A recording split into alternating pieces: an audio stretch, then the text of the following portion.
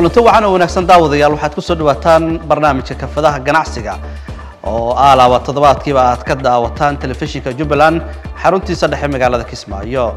Barnaamijka inta badan waxaa idiin soo saara anigoo cabsaaq xasan carte oo aa inta badan aad ka daawataan sideedda fiidnimo habeenka sabtida. Kusoo dhawaada barnaamijka kafadaha ganacsiga. Toddobaadkan waxyaabaha ugu xiisaha badan waxaa ka mid ah. Waxaan ahay xaliime cali maxmed waxaan ahay guddoomiyaha xarunta digaaga midnimo boltry waad mahadsantihiin. Xaliime cali maxamed waxay ka mid tahay sideed haween ah oo ka soo laabtay xeryaha qaxootiga dhadhaab ee dalka kenya isla markaana hal abuur ganacsi ka sameeyey magaalada kismaayo. Ay ka hirgeliyeen xarun lagu xanaaneeyo digaaga oo luqadda qalaad loo yaqaano boltry waraysi ayaan idinkaga haynaa ku soo dhawaada mar kale barnaamijka kafadaha ganacsiga gaar ahaan barnaamijka kafadaha ganacsiga marka hore soo dhawow waa mahadsantahay eedoon soo dhawaa adoo magaxaa ku bilaabay. Waxaan ahay xaliime cali maxmed waxaan ahay guddoomiyaha xarunta digaaga midnimo boltry waad mahadsantihiin waa tahay waa mahadsantahay run ahaantii waxaan ku sugannahay xarunta lagu dhaqo digaaga macmalka bacrimiska ah. Xaruntan goormee la furay. Xaruntan waxaa la furay labada kun iyo sideed iyo tobankii الله هذا هو شقي سان لحسن على بتبع إلا فريد آه، يعني كعابي أما قرب إلا كسي إلا فريد حرمت عنك حرمت مركب أول رئيس أنا قبل فكر نجا إما هذا بعند كفر رأي أنا أنا فكر عن سلطة جناي مركب أنا قصق إن حريها قحوتي أي فكر عن ما حنا كإما هذا بعند كفر أنا لكن كذب وحنا عاوية ونجا عن قبتي هاي ده إس دوري إس أو أو كعشان إس آه، هاي ده جي إزت يعني, يعني عاوية يعني نجا عاوية. مركب بالفائدة دي خسارة ده قبر كنيس. Wallaahi wax walboo la bilaaba wallaahi wax walboo la bilaaba faa'iidana wuu leeyahay khasaarana wuu leeyahay in badan waan ku soo jabnay digaag dhan oon soo gadnay hal mar naga baabaaday waanu aragnay aqoon la'aan maxay ahayd markii dambe tababare nala siiyeyna maasha allah faa'iidaan ka joognaa hadda alxamdulilah marka adoo sabir guud naga siinayo qaabka aad loo dhaqo digaaga iyo xarunta adoo ka warramayo bal ka warran xarunta saxaaradeeda iyo qaabka u shaqayso iyo cidda ka shaqayso iyo qaabka aad maamushaa walaalow digaagtan waxaa loo maamulaa maxay ahayd marka u horeysa waa inay digaagtu horta hesho caafimaad waa inay hesho cunno waa inay hesho daryeel gooni ah. Taas iyada ah markaanu ku dadaalno maxay ahayd haddana waxaanu soo saarkeeda suuqgeyn bay leedahay. Maxay ahayday raashinukeen bay leedahay. Markaanu daawadeeda iyo raashinkeeda iyo maxay ahayday waardi ay leedahay dad baa noo raaca. Hadda awlow in badan annagaa raaci jirnay hadda laakiin heer waxaan gaarnay inaanu shaqaalo aanu qabsano oo shaqaalo shaqaalaysiino ha. Xarunta inaan shaqaalaysiino dad marka dadkaan shaqaalaha lacagta markaan bixino raashinkeeda bixiyo wixii soo hadhana aan sidaa maxay ahayday? Annagu u tasarufno u qaybsano gabdhaha iskale shirkadda marka dhanka caafimaadka oo kaleeto ma dhakhaatiir gooni idin joogto oo xaalado la socdo? Maya wax dhakhaatiir hadda gooni annaga noo joogta ma jirto. Annaga baana la tababaray. Tababarkii un baanu maxay ahayday kolba la kaakaashanaa wasaaradda xanaanada xoolaha xarunta xagee ku taallaa xarunta waxay ku taallaa xaafadda midnimo gaar ahaan laba labada qol laba labada qol idinka macnaha waxaad ka mid ahaydeen dadkii hore u jooga magaalada mise dadkii dib u yimid oo xeryaha qaxooti ka soo laabtay maya annaga waxaan ka midnaa dadkii xeryaha qaxootiga dib uga soo noqdeen lix sano ka hor imisaa qofaad ku leedihin sideed marka anaa guddoomiye u ah. Xogeyn bay leedahay guddoomiye ku-xogeen bay leedahay. Waxay leedahay khasnaji. Waxaan midna waa maxay ahayday minbaas bay ka yihiin. Marka adoo raalli ah ama adoo mahadsan sharaxaad waxaa naga siisaa qaabka marka digaaga loo bacrimiyo ama loo abuuro. Digaagta markaad rabto inaad maxay ahayday aada bacrimiso waa inay marka u horeysa uu dhalo hooyo diiq iyo digaag waa inay iska dhalaan. Haddii kale aan u dhigno sida koonfureedka doore iyo diiq inay iska dhalaan. Hadduuna diiq iyo doore ayna iska dhalin ukuntaa kuuma noqonayso ilmo. Marka u horeysa waa ina diiq iyo doore ay iska dhalaan ukunta. Ukuntaa diiq iyo doore marka iska dhalaan markaad intaad rabtay aad gaarsiiso waxaad gelinaysaa incubator. Waxa la dhaho incubatorkaasaad gelin sideedda beri hore waxay taagnaani step loogu talagalay qoraaluu leeyahay baalku heer kulka qalabka lagu bacrimiye ukunta huuriye waaye. Marka qaybka bahalkaas huuriye maxay ahayde ukunta soo jebinahaya ee dhalinaya waaye marka wuxuu leeyahay heer step step loo gaarsiiyo. Maalinka koobaad ilaa maalinka sideedaad wuxuu taagnaani lambar aad adigu la gelinayo. Haddana maalinka sideedaad ilaa maalinka afariy tobnaadna wuxuu la istaajin haddana lambar kale oo isagu leeyahay. Maalinka afariy tobnaad ilaa maalinka sideediy tobnaadna lambar kale oo la istaajiyuu leeyahay maalinka u dambeysa ee koo iyo labaatanka ilaa sideed labaatankana lambar la geeyuu leeyahay. Marka waa heer biyood iyo heer kul. Midna hoos baa loo dhigi lambaradiisa midna kor baa loo qaaday fikirkan deegaankan kama jirin idinka xageed baad ku aragteen ama fikirka xaguu idinkaga yimid? Annaga maadaama aanu ka in badan noloshaanada inteeda badan baanu ku qaadanay dalka kenya. Waxaanu aragnay digaagta inta badan uun socoto ee la keenayo. Markaanu aragnay maxay ahayde kenya oo digaagta laga dhaqanayo oo taariikhaha maxay ahayde aanu aragnay maxay ahayde dad caan ka ah kenya. Sida hadda madaxweynaha kenya oo kale. William ruto wuxuu ku gaaray heerkaas waxaa waaye. Markaan taariikhdiisa aad iskuullada naloogu soo dhigay inuu maxay ahayde uu digaag ka bilaabay. Heerkaana uu ku gaaray ilaa waqtigan xaaliga uu madaxweyne yahay ay digaagtiisu dhaqan tahay.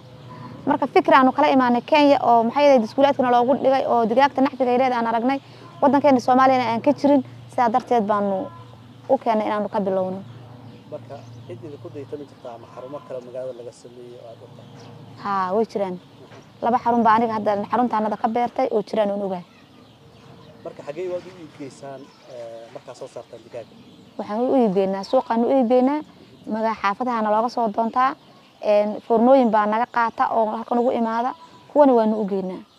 Marka ganacsigiina ma gaaray inaad gaarsiisaan gobollada sida caasimada kaleeto. Maya maya weli magaaladana gaari magaaladana wada gaadhinba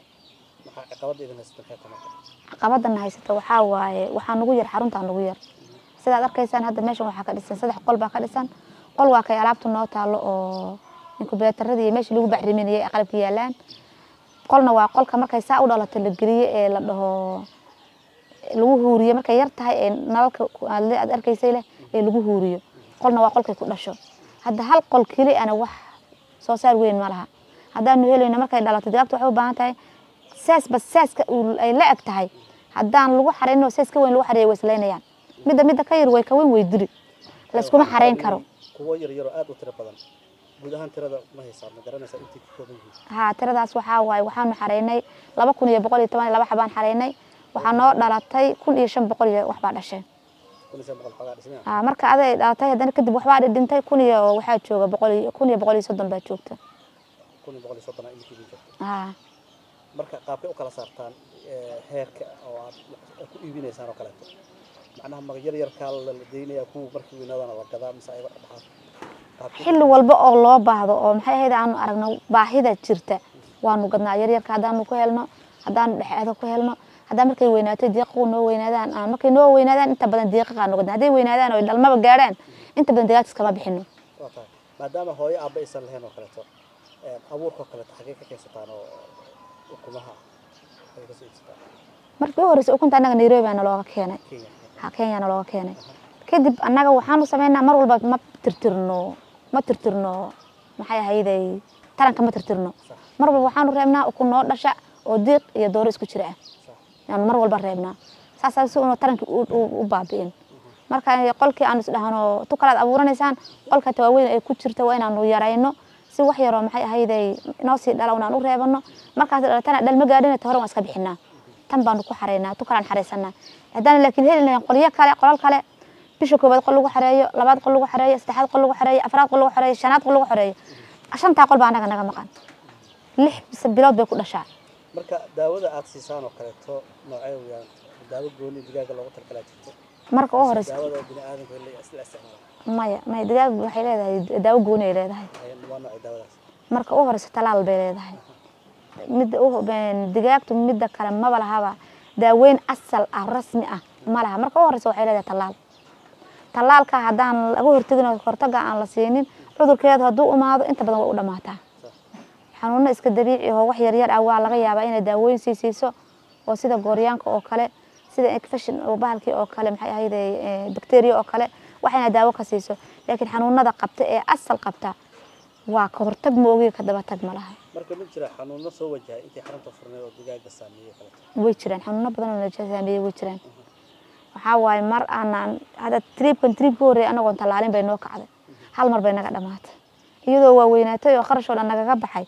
Cudurkii soo galay cudurkii markuu soo markaasna waxaanu weynay daawo aanu isku haleynaynay oo inay tallaal uu noo yaallay aanu ku filaynay. Yaa tallaalka oo dhacay aanu aragnay marka digaagtii waxaa ku dhacay hal mar inuu xanuunkii galay saaka waagu markuu beriya albaabka aad furto aad afartan xabo meeyda afartan xabo soddon xabo bakti aad ugu imaato. Laba toddobaad gudahood bay ku dhamaatayba cashir baan ka baranay. Haa tallaal la'aan ma socon karto iyada.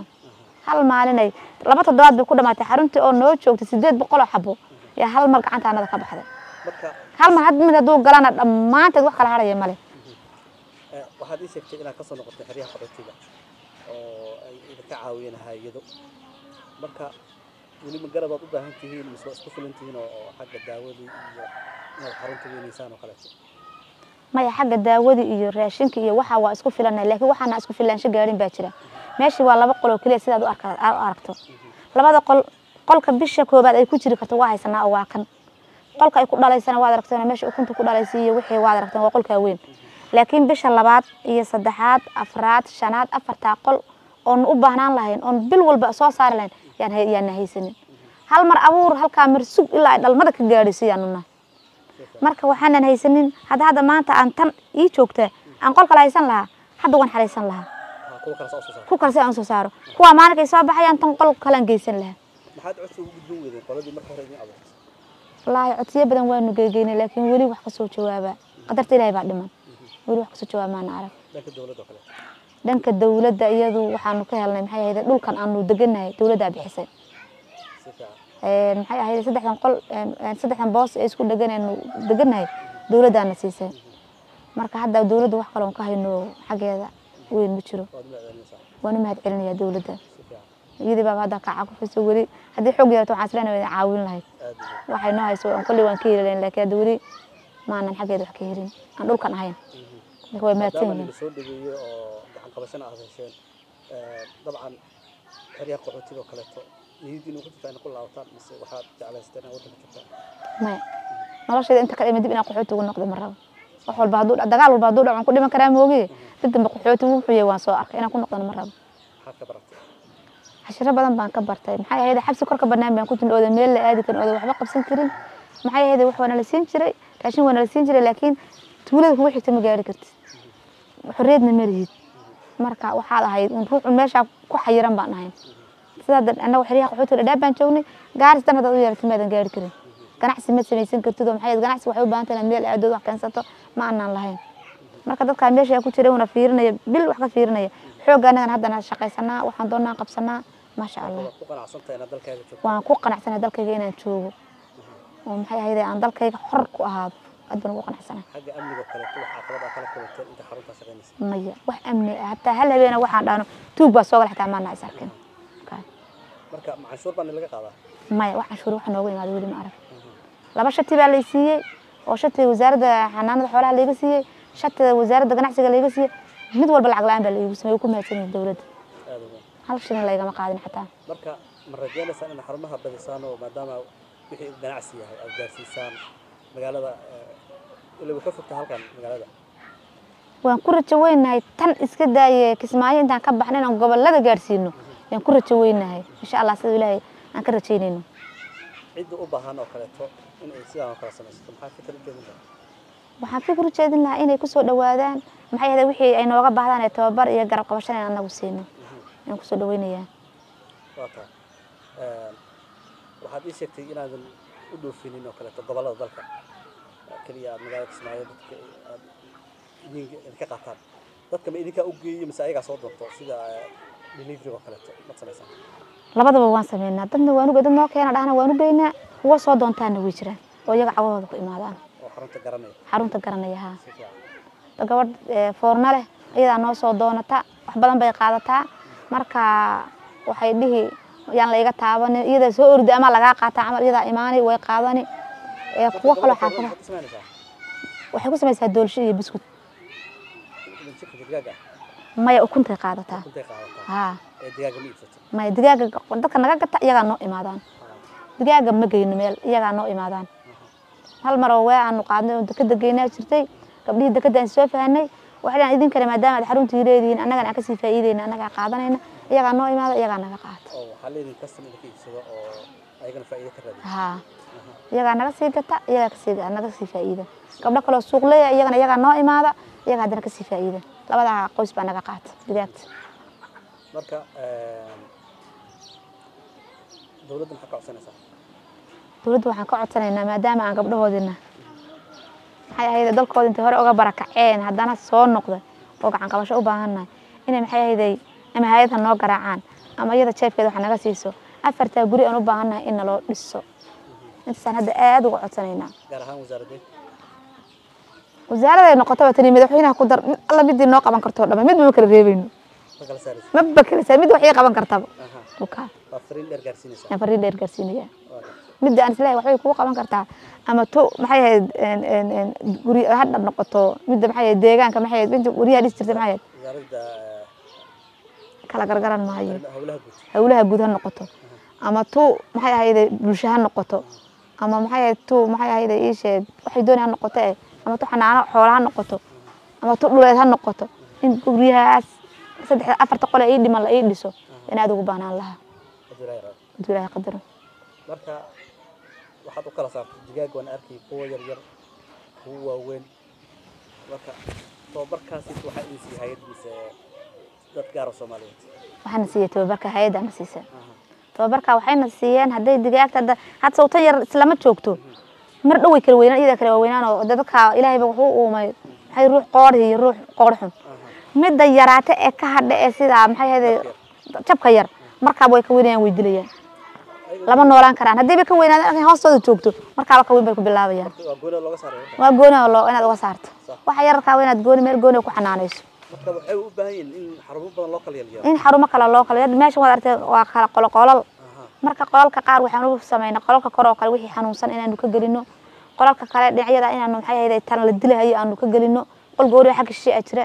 Karantiilka la qolka karantiilka la dhahaa oo kor ku yaalla wixii xanuunsan baan gelinaa.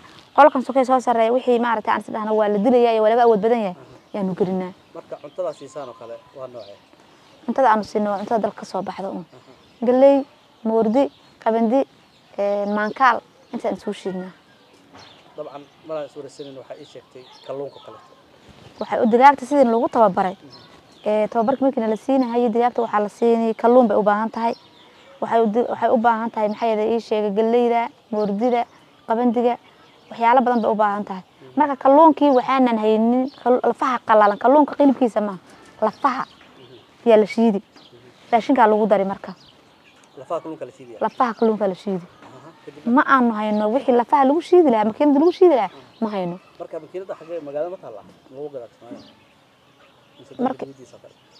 Wallaahi waa laga heli baa mir laygu dhahay. Union waa laga heli baa laygu dhahay laakiin ma aqaano. Markaad wax haysato mad ruux uteeda ma haysaa dhihi kartaa imaana weli u tegin maana soo qiimeyn uma aana tegin laakiin waa la heli. Hadda wiil xarun halkaa ku leh inkastuu yiri baasheeda waa baal weyn oo dhulkaan ku rakibay. Lafaha waa ii shiidaa buu igu dhahay digaaga ugu talagalay. Digaaga ugu talagalay. Waxaan walaal ma nasiiyo hal mar annagana aan kula shiidana bal nasiiyo aan soo qaadano wuxuu yiri dhulka iigu rakiban tahay marka waxaa lagu shiidi lafihii iyo raashinka wax dhan isku daraan ku shiidaa buu igu dhahay. Meeshana meel dhow ma ahana waa riboodka markii la dhaafo meel aan aadi karin. Waa cabsi cabsi ah. Magaalada ka baxsan. Marka waxaan hal mar aan gaari soo doonana aan soo qaadana aan dhahayo wuxuu dhulkay ku rakiban tahay oo idinka intaad qaadataan maxaa u tegaya waa cabsi cabsi waan ku cabsooday. Gaari halkaa kuu aadayna lacag badan ku dhihi. Waana garoonka meel ka shishaysa Mm, xaafadda cusub oo la yidhaahdo xaafadaha qaxootiga ku soo barkacin maya meel isaga xarun oo gooni oo beer uu lahaayo beer dhinacu ka beer ka dhigtay dhinaca digaa ka dhigtay. Waaye sax. Marka meeshaas waan gaari waaye duruufta iima saamixin inaan gaaro. Gabagabadii barnaamijkaan soo gaarnay aad aad u mahadsan tahay waqtigaa quruxda badan aad na siisay iyo xaruntaan kugu soo booqannay. Eh, mar labaad adoo fursadaad ka faa'iidaysanayo baahiyaha gaarka oo aad qabtaan waxyaabaha u baahan koobaya baahiyahaan u baahannahay sidaan kuu sheegay guryaha igu horreeya hadda derbigan aad aragto waa silig dadku maalinka jimcihi meel ku dhibanahay carruurta marka derbigan in naloo dhiso maxay hayday guryahana loo dhiso makiinadaas oo kale in nala siiyo maxay hayday haan weyn oo biyo ah in kor naloo saaro anagu inta kale jacbursane biyaha waa tuubada waxay u baahan tahay biyuhu waxay u baahan yihiin meelay biyaha kor uga imaadaan oo meel la siiyo markaas